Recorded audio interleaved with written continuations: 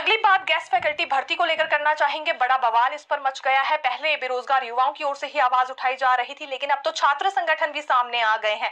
ये हम बात एसएफआई की कर रहे हैं। एसएफआई की ओर से ये आरोप कांग्रेस सरकार पर लगाए जा रहे हैं कि पूरी तरह से भाजपा की केंद्र सरकार के सामने हिमाचल सरकार ने भी घुटने टेक दिए हैं। इसीलिए तो नई शिक्षा नीति को यहाँ लागू किया जा रहा है, किया जा रहा है। और तो और नई शिक्षा नीति के उस हर पहलू को लागू करने की कोशिश की जा रही है, जिसमें नियमित तौर से ना भर्ती भर्तियाँ करते हुए पार्ट टाइम अध्यापकों को रखने की कोशिश हो रही है।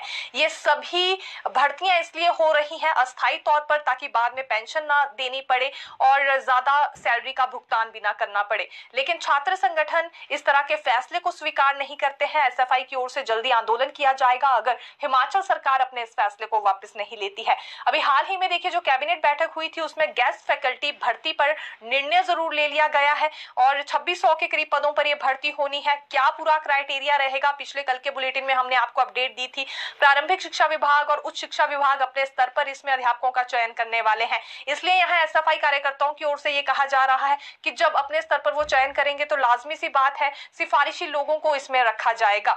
तो ये किस तरह की भर्ती हुई और अस्थायी तौर पर क्यों हो रही है और एक साल बाद फिर ये अध्यापक कहाँ जाएँगे, इस पर भी सरकार को जवाब देना चाहिए। जो यंगस्टर्स अभी कमीशन फाइट करने की तैयारी में है या जिनके रिज़ल्ट फंसे हैं, उन्हें इसमें प्राथमिकता क्यों नहीं दी जा रही है?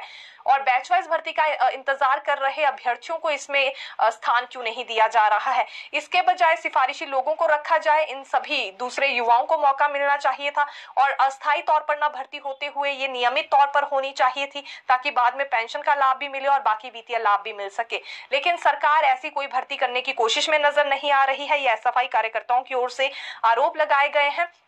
और छात्र संगठन ने यह भी कहा है कि कुल अभी शिक्षा विभाग में ग्यारह हज़ार के करीब पद खाली चल रहे हैं, लेकिन सभी पदों को अस्थायी तौर पर भरने की कोशिश सरकार कर रही है।